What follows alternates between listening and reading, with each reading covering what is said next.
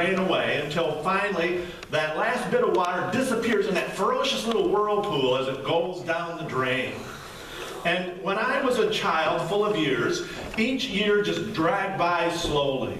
But you know what? The older I get, the faster time goes by. And I know that what's true for me is true for you too, because I've heard you guys say that to me over the years as well. That's why beginning here in the year 2015, we are talking about time and how we spend it. We're in the second part of this series, Time and Life. And uh, if you've got those study guide books that I put together, we're on sermon number two, so you can open up to that. You can write down any notes that you want. But um, last week we began with the unsettling truth that all of us have a limited amount of time, right? And none of us knows how many years that we have. And so we looked at a psalm that Moses wrote, and it was a prayer, really, teaching us that we need to number our days so that we can gain a heart of wisdom. And if we live in light of the fact that our days are numbered, then we're going to make better decisions because none of us wants to waste our life, right? This isn't a depressing thought. It actually helps us to leverage our time so that we have a better sense of purpose and a better sense of God's destiny for us. And today I want to talk specifically about how to get the most out of your time. There's this simple principle that perhaps you've heard before, and the interesting thing is, it's in the Bible. It's in both the Old and the New Testaments, actually. And to introduce you to this principle, I want to show you a video called The Empty Pickle Jar, A Lesson on Life. So we're going to watch this video clip. It's about three minutes long, and then we're going to talk about that and what it means. So go ahead and roll it, man.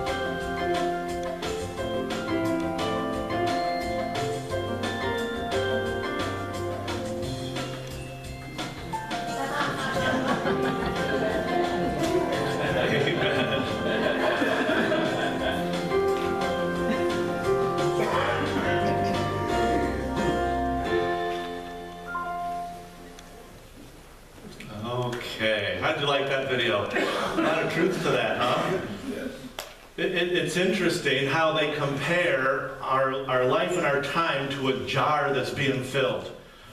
Of course, that jar in, in illustration, it can uh, represent any allotment of time. It could represent a day or a week, or it could represent maybe a lifetime or a certain season of life that you're in. And you can get a lot into that jar when everything is put in in the proper order with those bigger things going in first and then the smaller things all kind of going in around that. But you know what? If you start out with your jar already half full of those pebbles and sand, guess what? You're not going to be able to fit the bigger things in, like the golf balls. You'll be able to get some of those in, but not all of them. And if those are the important things of life and they're left out, guess what? That's when you start living with regrets. All the pebbles and the sand in the jar, they represent the semi-important things in life as well as maybe the fun things that you do and, and the cool things that, you know, maybe they just basically waste your time. These are things that aren't necessarily important to your success, but you don't want to give them up. Now, for some of you, about half of the pebbles and sand in that jar represents Facebook. We won't, we won't go there, but you know who you are. Or, or maybe, the, maybe the pebbles and sand represent shopping online, or maybe they represent driving through car lots and looking at cars that you know you can't afford, or maybe driving through all those neighborhoods and looking at the houses that you can't buy. And uh, maybe those pebbles and sand represent you know, staying out too late with friends, or, or maybe it represents that extra game of golf or that extra game of PlayStation. Maybe the pebbles and sand represent all the TV that you watch or the internet that you surf. It represents all that stuff that fills up your time, and sometimes it's important, but most of the times they are not critical to your success or your well being. But then there are the golf balls, right? Or as the story is told by Stephen Covey back in the 1980s, he's the one who originated this whole story. He said, There are the big rocks in your life. And these big rocks represent the important things, okay? So if you've got kids, obviously, you're going to put them in your time and life jar. They're important. They're big rocks. And then for those of you who are married, you know, there's the big rock that represents your spouse. Or maybe if you don't want to be offensive, you put in a smaller rock representing your spouse because you're not trying to imply that they need to lose weight or anything like that, right? But the point is you want to make sure that there is time and life for your spouse. And then there are those bigger rocks that represent your work and all the time that you spend on the job. And then there are those bigger rocks if you're going to school, if you're a student, that represent the time you spend with your studies. And there's the big rock of your church life or your life group. There's the big rock uh, that is your, represents your exercise routine or the leisure time rock. All of these things have to fit in within the course of a day or a month or a year or a lifetime. And when everything fits in properly, that's good, right? The problem is that for many of us, we don't have our priorities in the right order. We would rather just play in the sand all the time instead of building our life on the rock. And so that's when we say that something's important. We say that it's a big rock, but then we get to the end of our day or the end of our week or the end of a lifetime or a season in life and we realize there just wasn't enough time to fit that in and we kind of look back, and that's when you're going, wow, you know what? My kids are all grown up and they're gone now. And, and uh, I missed too many dinners at home, and I missed too many ball games with them. There just wasn't enough time to get it all in, and, and it stays outside of the jar. Well, the point that we want to make today, as we continue in this talk on time and life, is simply this the key to getting more accomplished in your life, to getting as much done as possible, is not just adding more in and running around faster and faster and just stressing yourself out. The key to getting as much as possible done in your life is to have your priorities right. In fact, the principle that I want to leave with you today is simply this priority determines capacity. In fact, would you say that with me right now? Priority determines capacity. It's true. It's what you put in first that ultimately determines the capacity of your life and the capacity of your time. And it's pretty amazing because once you have determined what your priorities are, what the big rocks in life are going to be, it is amazing how all that other stuff has a way of fitting in too. Facebook and golf and internet and hanging out with friends and shopping and looking at cars. All that cool stuff that you know isn't critical to your life. But so often, if we're not intentional, those are the little things that push out the big things. And, and we end up with regret. Priority determines capacity. The priorities of your life determine the capacity of your time, whether it's a day or whether it's a lifetime. And that's probably not new information, but the question is, why don't we live this way? You see, the question is, why don't we put the big rocks in first? And I think the reason why most of us, most of the time, don't do that, we don't prioritize, is we've never really sat down and asked ourselves the question, what are the big rocks in my life? What, what is really important to me? What are the things that when I get to the end of this week or the end of this year, the end of this season in my life, the end of my education, when I and get to the end of the first few years of my marriage, what are the things that I want to be able to look back on and say, you know what? I don't have any regrets because I put those things in first. They were the priority in my life. And I didn't fit, I'm not missing anything that's important. But along with that question of what's most important is the question who is most important. And if you're married, he or she's a big rock, right? In fact, why don't you take a moment right now, look at your spouse and say, baby, you're my big rock. baby, you're my big rock. You're sitting with your kids, you know that they are big rocks, right? Not in the sense of holding you down or holding you back, but in the sense that they are important. They are big pieces of your life. And the interesting thing about busyness and running around and getting all stressed out when you're forcing things in and you're cramming things in all the time without prioritizing is busyness and that mad dash, it, it will ultimately destroy intimacy. It will ultimately destroy and remove all the things that are important from your life. But chances are there's room for everything you need in your day. There's, there's room for everything you need in your week if you begin to prioritize correctly. And if we don't decide ahead of time what's important, you will come to the end of your day or the end of a season in life. You will come to the end of high school or college or the first 20 years of your marriage or the first 20 years of your career, and you will look back and say, Wow, I wish I could go back and recapture that. Wow, I wish I could go back and do that over again. I have some regrets. If you put the wrong things in first, you will not be able to put in all of the important things, the things that you say really matter. So this whole discussion about priorities, it begins for all of us with this question, what and who is really important to you?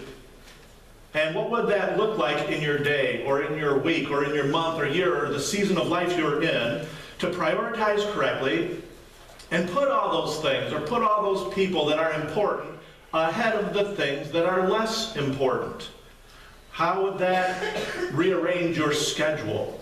What would you have to quit doing? How would your calendar look different?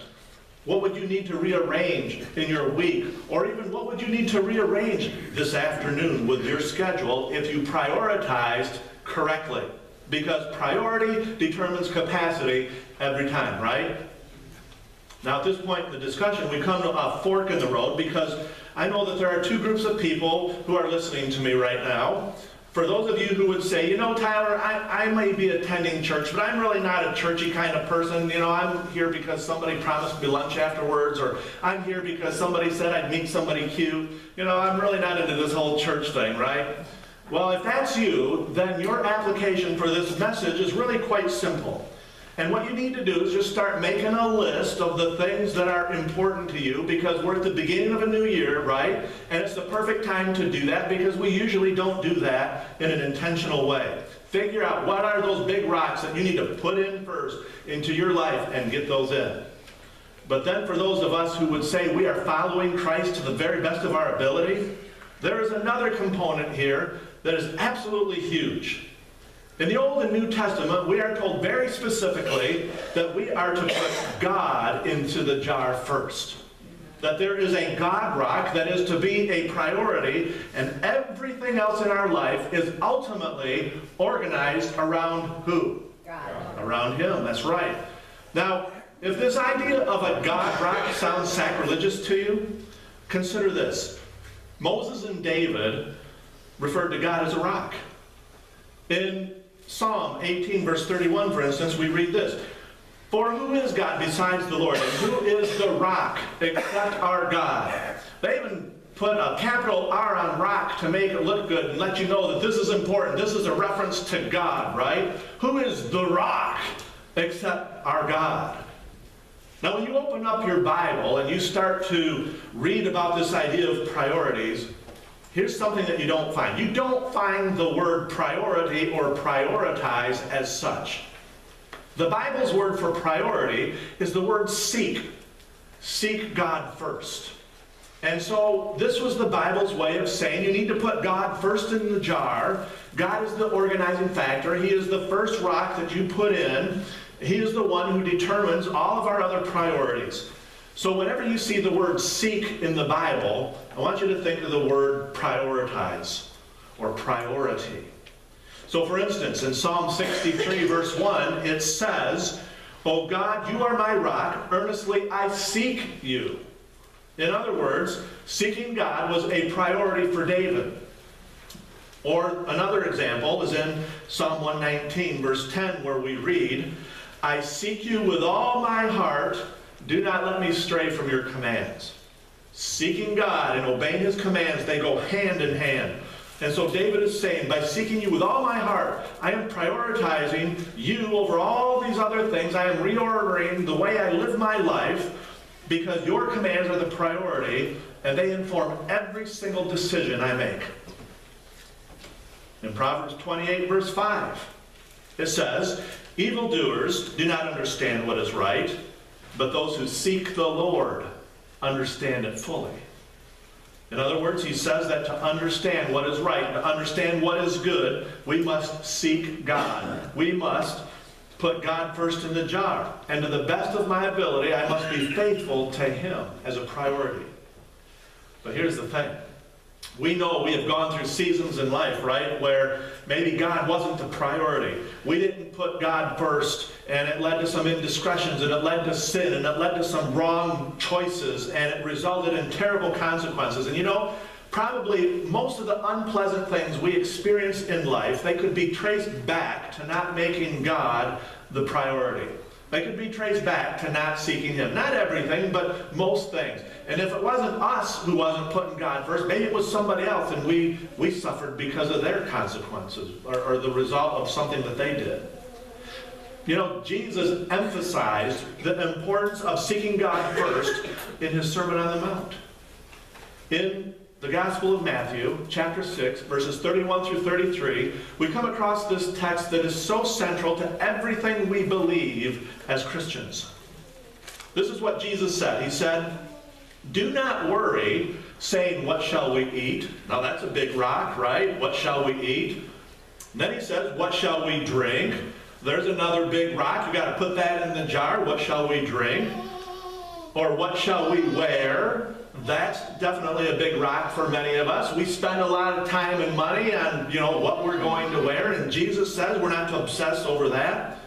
But he goes on and says, for the pagans, and a pagan was basically someone who lives as though God doesn't exist, right? He says, for the pagans, run after all these things, and your heavenly Father knows that you need them. Now, here's something for every Christian to think about.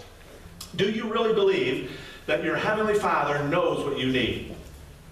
I mean, don't just say yes because we're in church right now. But do you really believe that your Heavenly Father knows everything you need? All the things that you try to cram into your day and week, all the things that you try to, that you worry about fitting in, do you really believe He knows what you need. Because see, if you really believe that God knows what you need, then why in the world do we not put him in the jar first? Why do we not put God first in our lives? So Jesus draws a conclusion then in verse 33.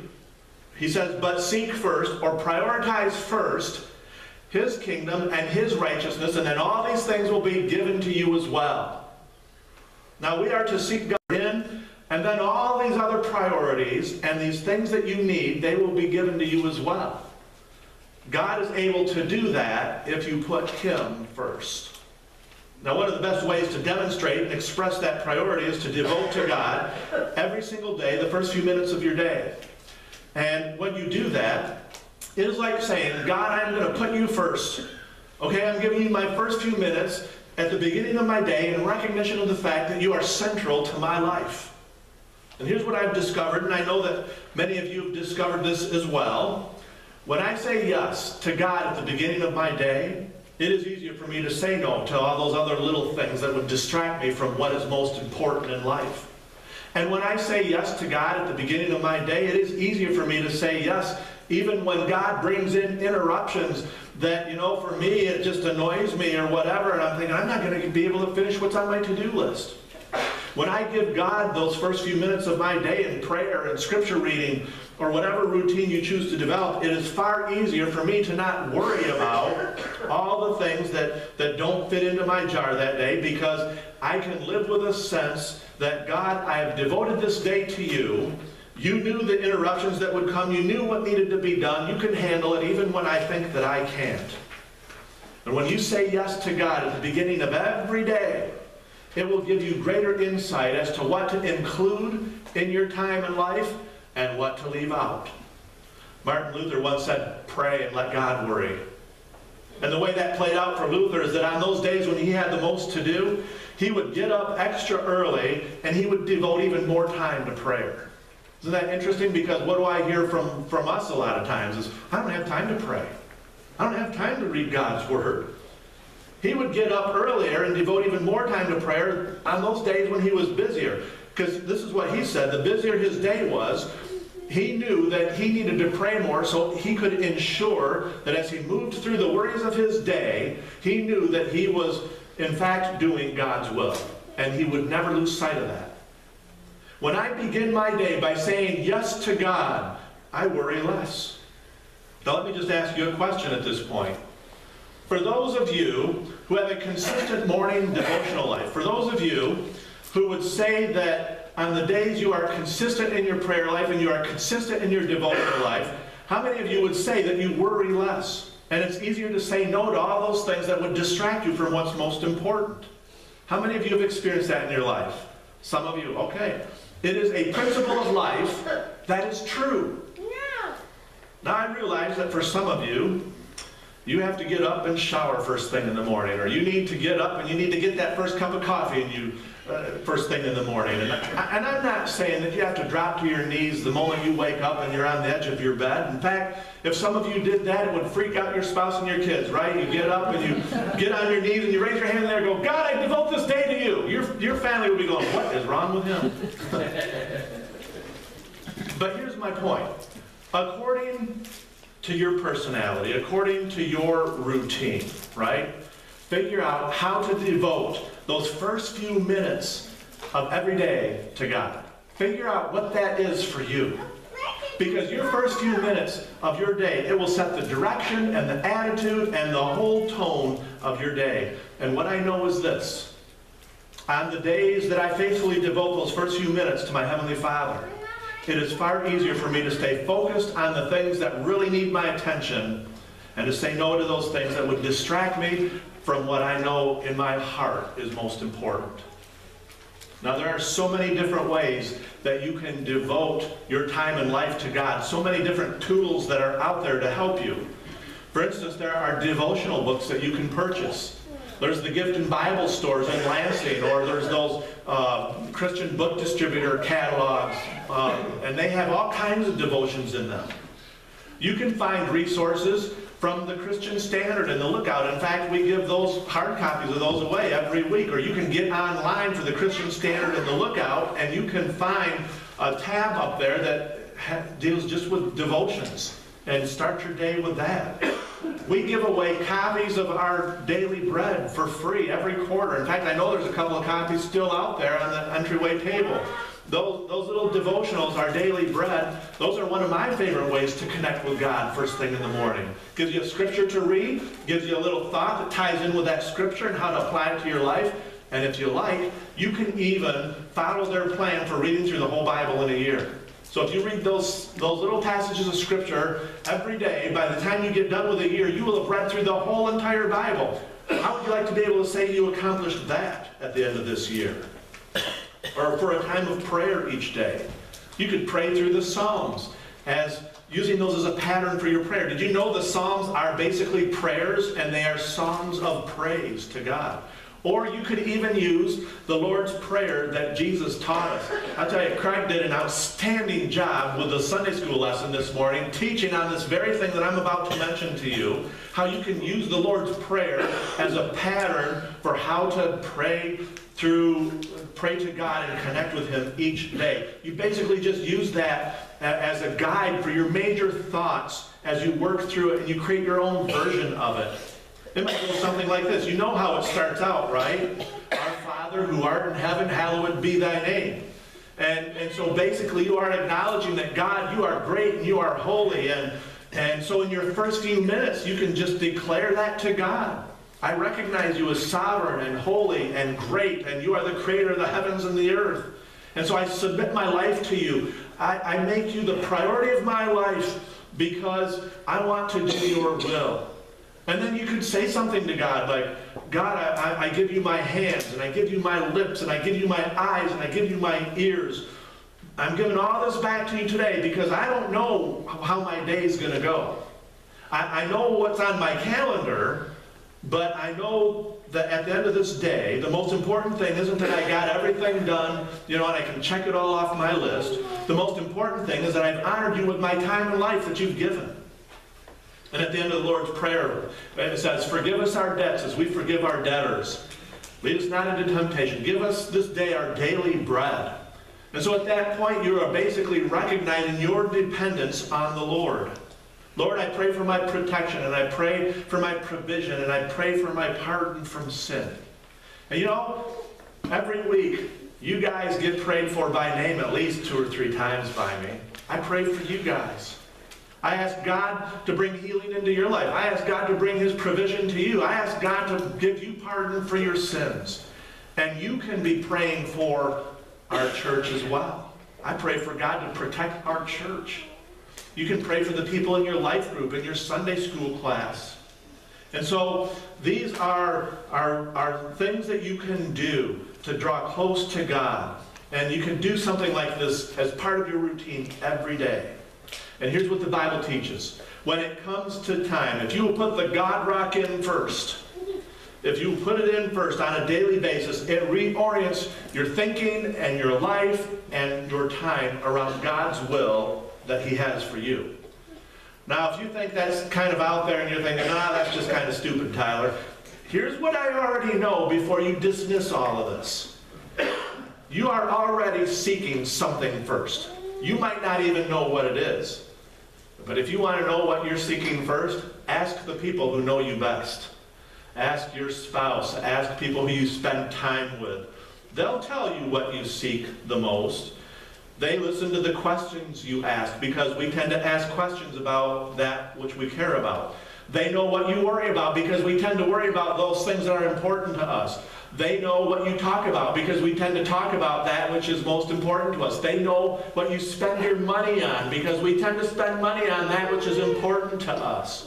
And so the people you live with, who you spend time with, who are married to you, they know what's most important to you. It might be wealth, or it might be popularity, or it might be getting up to a thousand friends on Facebook. It might be to be at a size four. It might be to improve my golf game or to buy the next PlayStation game that comes out. There is something in your life that you are seeking first. And my advice to you is seek all that stuff if you want to, just don't seek it first. Okay? Don't let it be the organizing principle around which all the rest of your time and affection and emotional life are organized. In fact, why not make an attempt to come to that place where you say, Heavenly Father, more than all that other stuff that I want, I really want to know and do your will. And as an expression of that desire, I am giving you the first few minutes of my life, and I'm saying to you, all my time belongs to you. I am reorienting all my thinking around you, Lord. And here's what will happen. You will become more productive. Because when you prioritize correctly, you have greater capacity in your life. Think about all that Jesus was able to do in just three years of ministry. Here, 2,000 years later, we still quote him. 2,000 years later, we still follow him, right? And that was just because of three years of his ministry. When you prioritize correctly, your capacity in terms of your time increases. It will increase your productivity because there's more peace in your life. It will increase your productivity because you have a better sense of pacing. It will increase the productivity in your life because you will have a better sense of accomplishment at the end of the day when you realize, you know, maybe I didn't get everything done on my to-do list. Everything that I wanted to cram into my day. But God, to the best of my ability, I knew and I did your will for my life. And one thing you need to keep in mind is God's not going to force his way into your jar, right? When it comes to your time and life, God, the big rock, doesn't come crashing in. In fact, in the book of Revelation, it notes that Jesus, and I love that painting we have in, in the kitchen uh, meeting room there, that big picture on the wall, Jesus standing at the door knocking, and, and that's what that comes from Revelation, where he says, Behold, I stand at the door, and what's the next word? Knock. Okay? It's not, behold, I kick the door in and take over. Jesus doesn't do that. Jesus says, I would like to be the big rock of your life. I would like to be put in first every day. I would like to be first in all of your relationships. And if you'll put me first, and if you'll prioritize correctly, then as Jesus said, all of these other things will be given to you as well. So, what would that look like in your life? With your schedule, with your personality, with the way you're wired? What would it look like for you to give God your first few minutes of every day? Think about that and make a decision. If you all agree that priority determines capacity, why would you not devote to God your first few minutes of every day as a God-fearing person? Because when you begin your day by saying yes to God, you will worry less because you will have invited God into your entire day. And maybe you could even pray through your schedule for the day. You know, there are times when I do that, when I'll just say, God, if you want me to get this done, or God, if you want me to meet with this person, please help me to get this project done right now that I might be struggling through. And it's not that I'm trying to tell God what to do, but I am acknowledging that God is present, and whatever happens, I am moving ahead with Him, and I'm moving ahead only where He is blessing. And when I'm intentional about my priorities, guess what? It helps me to have time for what's important, but it also leaves time for what's fun. Do you remember in the video that we watched at the beginning of the message? It ended with just the right amount of chocolate milk being poured into that jar representing your life. Do you remember that at the end? Well, because you've made it a priority to come to church today on this first Sunday in 2015, because you have made it a priority to come to church on this first day of the week to get in tune with God, because you have listened intently to the message this morning, I have a parting gift for you, chocolate. Everybody gets a candy bar. I feel like Oprah. Everybody gets a candy bar. As you leave church today, as a reminder that life is sweeter and it functions more smoothly when your priorities are in order. So Nicole and Nick, would you please let them pick out a candy bar and let that be a reminder of how life is sweeter and functions more smoothly when your priorities are in order. And here's the thing. At the end of the day, my goal is to have lived the day in a way that pleases Jesus. Priority determines capacity. So, what's most important to you? How do you get that into your jar first? Who's most important to you? And what would it look like for you to begin your day by devoting to your Heavenly Father the first few minutes of every day? Put God first, and it will be easier to prioritize everything else along the way. Would you just bow your heads and pray with me for a moment? Heavenly Father, we thank you for your word that teaches us the importance of seeking you first. And as we begin this new year, I pray for each and every person here, not only that your favor and blessing will go with them, but that they will truly put you first in their life, in their time, in their service, in their relationships, in their work, in their participation with your church. May you be glorified in every way. In Jesus' name we pray. And all God's people said? Amen. Amen. All right. Well, as our praise team comes up to the front, gets ready to close us out with a, a closing song, would you just stand with me here? And uh, as we close out, we always close out with a recognition that we have a decision to make, right? And for some of us, maybe, maybe we've never decided that, that God is going to be first. Maybe we've never decided to pledge our allegiance to Christ and, and to be buried with Him in baptism so we can be united with Him in His death and raised with Him in newness of life. And if you've never done that, we want to give you that opportunity today as we sing this closing song. I'll be standing right here, and all you need to do is come on down to the front. We'll talk about the next steps that you need to take to, to get right and connected with with God through Jesus Christ. You're here this morning and you are already a Christian, you want to partner with us in ministry, we'd love to have you become a part of this church family and help us further the kingdom of God. And if that describes you and you want to pledge your allegiance to this church and commit to being a member, I'll be standing right here. All you got to do is come on down to the front as we sing this closing song. As we close this morning,